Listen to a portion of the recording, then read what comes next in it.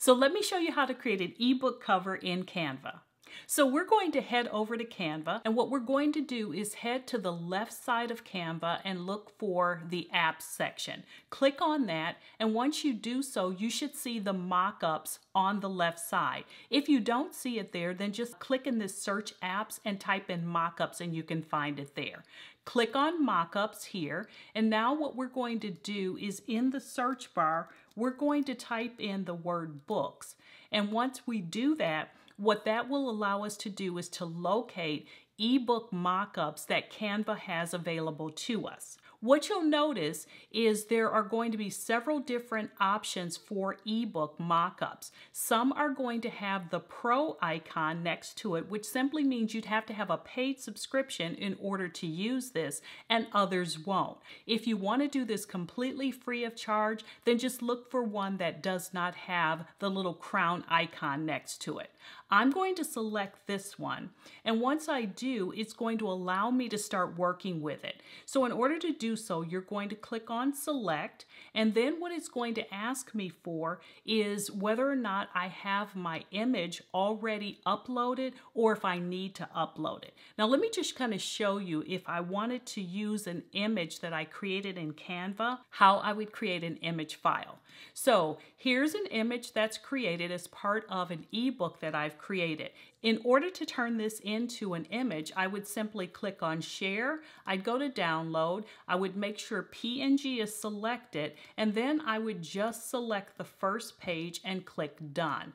Then what I would do is click on download, and that's going to simply go through the process of downloading. Once it is downloaded, then what I can do is just drag it over and drop it and you'll see that it is adding it to my uploaded files. So now I can go back to Canva and then what I can do, once I click on select, you'll see it's there. So if I were to click on that, now I can click select. You can also upload right from here. But I'm going to go ahead and click on select and you'll notice once I do so, it automatically adds my image file to the mockup.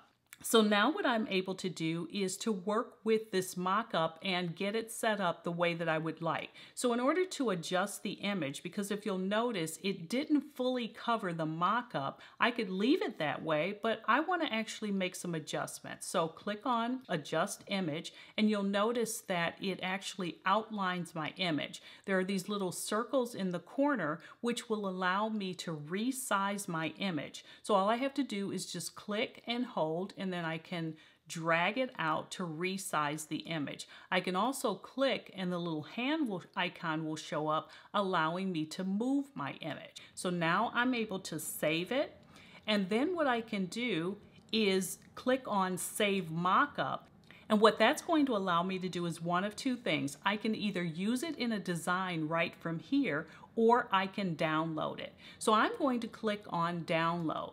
And once I click on download, you'll see it has actually created that file here.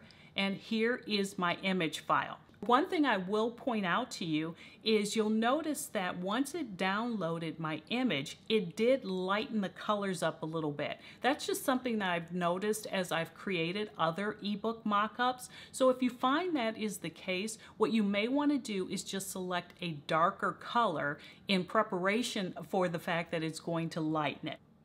Now, if you're interested in selling your ebook and you want to learn the process of doing so, uh, specifically setting up a sales page, collecting the money, and then finally delivering the final product, you'll want to check out this video here where I walk you through that entire process. Thanks for watching, and I'll see you in the next video.